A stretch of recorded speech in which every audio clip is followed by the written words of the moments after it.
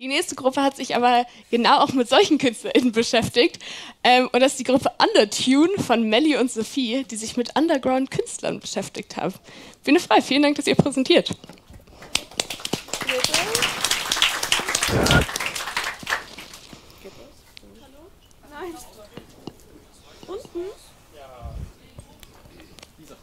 Hallo. Hallo, okay. Ähm, hallo, wir sind Sophie und Melly. Oh, äh, warte, das ist nicht an.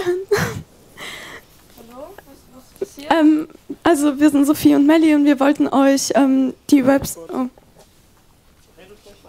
Ähm, wir wollten euch unser Projekt An der Türen vorstellen, ähm, an dem wir seit gestern gearbeitet haben. Ähm, äh, ja, gleich sollte ein Inhaltsverzeichnis angezeigt werden, worüber wir gleich reden. Aber irgendwie wird das noch nicht angezeigt. Also, äh, was wird in unserer Präsentation vorgestellt? Erstmal wollten wir euch erklären, was Undertune eigentlich ist. Ähm, dann wollten wir euch erklären, wie wir darauf gekommen sind, warum Undertune, wieso braucht man das. Äh, dann erklären wir euch, wie wir das verwirklicht haben, welche Technologien wir benutzt haben, welche Programmiersprachen wir benutzt ha haben. Und äh, ja, dann gibt es eine Live-Demo. Ihr könnt live gucken, was wir gemacht haben. Und äh, dann kommt noch der GitHub-Link, ein Dankeschön und ein Tschüss von unsererseits. Äh, ja, okay, was ist Undertune? Äh, ich meine, ihr kennt es bestimmt. Also ihr habt so eure Favorite-Künstler und so, die ihr alle super gerne hört.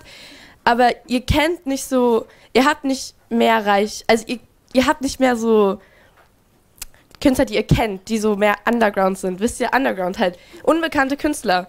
Also, es ist schwer, an die zu kommen manchmal und ihr habt so, also ich weiß nicht, ob es bei euch so ist, aber mir so, ich habe so meine Favorite Artists und die sind halt, die meisten sind sehr bekannt, wisst ihr? Und an der, an der Tune ist dafür da, unbekannte Künstler zu finden.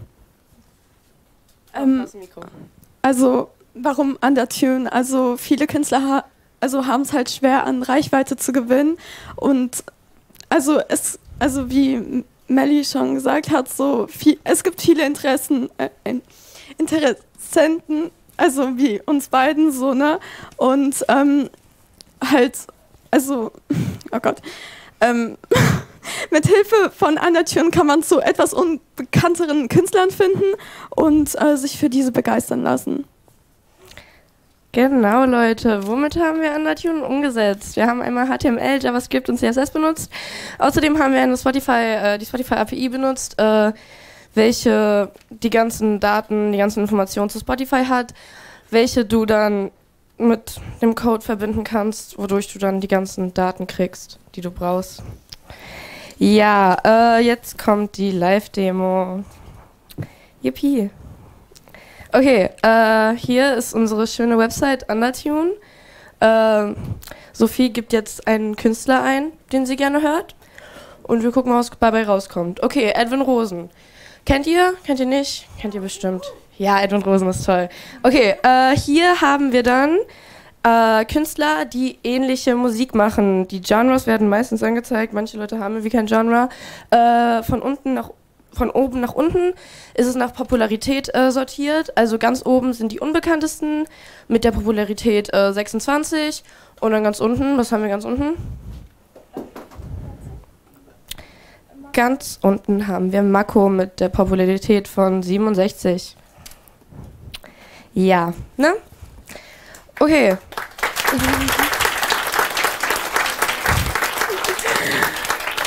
Äh, danke fürs Zuhören. Falls ihr euch den Code anschauen wollt, macht ein Bild davon, geht auf GitHub und guckt ihn euch an. Äh, danke ans Jugendtech Orga Team für das Event. Äh, danke an Rebecca, unsere tolle Mentorin, die uns sehr viel geholfen hat. Und danke an Liv, die uns gezwungen hat, diese Präsentation zu halten.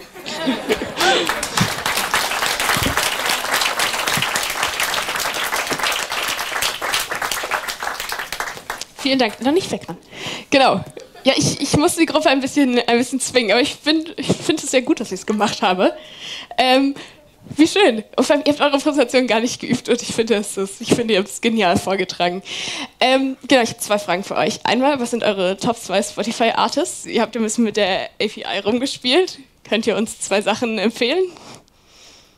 Also auf was bezogen? Also allgemeine Ja, Spotify-Statistiken? Nein, oder sag jetzt deine Lieblingskünstler, dann können die Leute im Stream. Vielleicht, wenn ihr. Habt ihr, habt ihr gute Empfehlungen? Ähm, also ich höre Deftones und halt Edwin Rosen sind bei mal, Okay, also bei mir bei den Tops. Und Melly? Äh, The Neighborhood und Lana Del Rey. Okay, gut. Und dann äh, habe ich noch eine technische Frage. Äh, man hört ja im Moment relativ viel von äh, APIs. Man hat ja zum Beispiel gehört, dass Reddit die API so teuer wird und dass deshalb alles nicht mehr funktioniert. Bei Twitter hat man genau das Gleiche gehört. Was ist denn überhaupt so eine API? Wir haben heute das erste Mal mit Ab gestern, heute das erste Mal mit APIs gear gearbeitet. Liv, bitte. Diese Fragen, die, die werden mir zu schwer.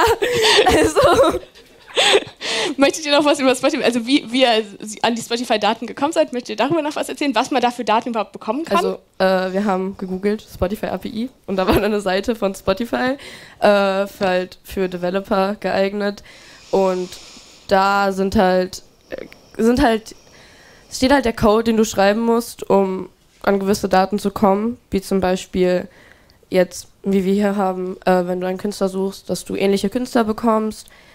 Damit kannst du halt die Popularität von Künstlern, den Namen, die Genres, die die haben. Äh, du kannst auch das Bild von den Künstlern herholen, wenn du willst, also das Profilbild mäßig. Äh, du kriegst da viel bei raus. Fandet ihr, dass das gut machbar war so?